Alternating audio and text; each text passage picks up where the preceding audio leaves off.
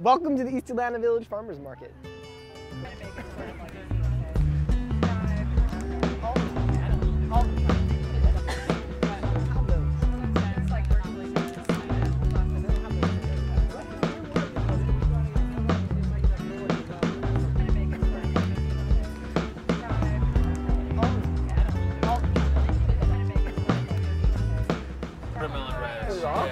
My name is Jonathan Tesher, and I'm the director of the East Atlanta Village Farmers Market. I, I've never liked radishes until I like. Oh, really? I tried that. It was really Yes.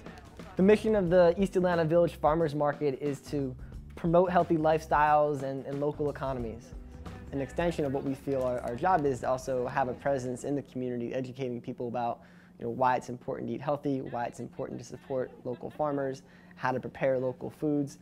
The East Atlanta Village Farmers Market partnered with McNair High School, located three miles from the market, to do a week of programming encompassing health, nutrition, food preparation, herbs, both medicinal and culinary, as well as music production and self-expression.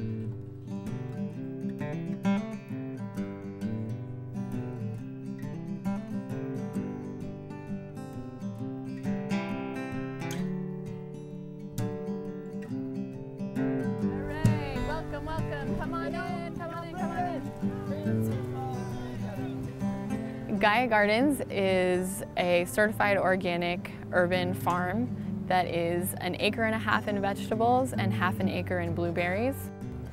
And it's a wonderful resource for learning about farming right in the middle of the city. Carrots, yeah, Lacey, you're right on. Carrots with the ones that are waving in the wind, the little green ones. We did a walk around the farm learning about what grows here um, at the farm, what it means to grow organically, what it means to eat locally. If you don't understand the roots, literally and figuratively, of where food is coming from, um, it's hard to really, I think, feel connected to it and understand like why is it so important. Well, I like to say I, I learned a lot about the soil, Yeah. Okay. how difference is between the Georgia soil and how y'all mix other dirt up to create even richer soil and stuff like that. Nice. Thank you. The next day, we brought in Afia to do a cooking class with produce that we picked up at the farm the day before. Y'all not ready.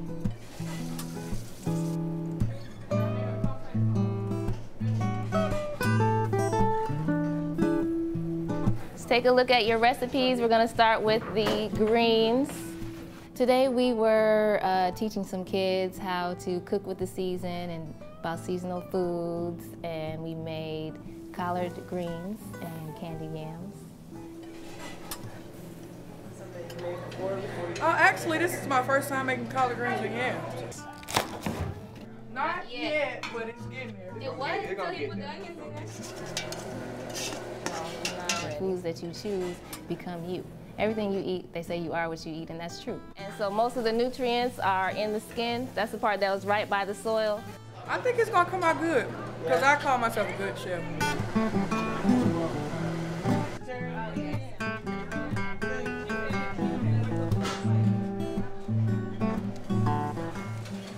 And the next day, we brought in facilitators to, to focus on herbs, both you know, culinary and medicinal. Here, this tiny little plant right here, this is called plantain. We're teaching how to use stuff from the garden to make herbal products that you can actually use yourself or sell.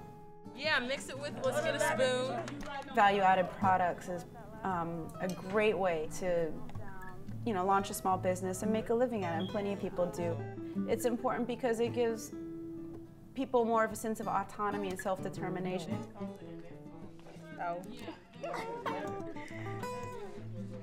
also like how she said she put it in like an economics term, you know what I'm saying? You can actually make money off this.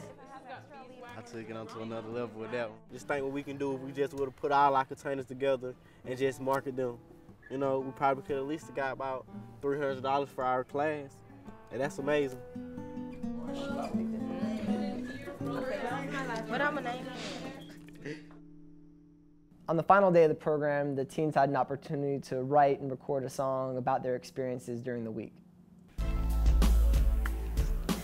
Collard greens. How about some spinach? It's something about music and communicating that kids just really cling to. On Wednesday, we made some bubble bath. I gave it to my mother for her bubble bath. When she got out, she was feeling real clean. I didn't clean my room, but she still ain't mean. And to be able to make food and healthy food and make it cool with music is just like, you know, it's the icing on the cake. Live long, you must be strong, you wanna live long. You must be strong, you wanna live long. You must be strong, you wanna live, live, live, live. You must be strong, you must be strong. I think that all of this needs to be a, a continual, stable part of the uh, McNair High School Culinary Arts Program. I really, really would love to see that incorporated. This week has been phenomenal. It's what I really think teaching is all about. I, from 27 years ago when I started teaching and I wanted the students to be involved and love what they were doing in the classroom, this has been a week of wonders.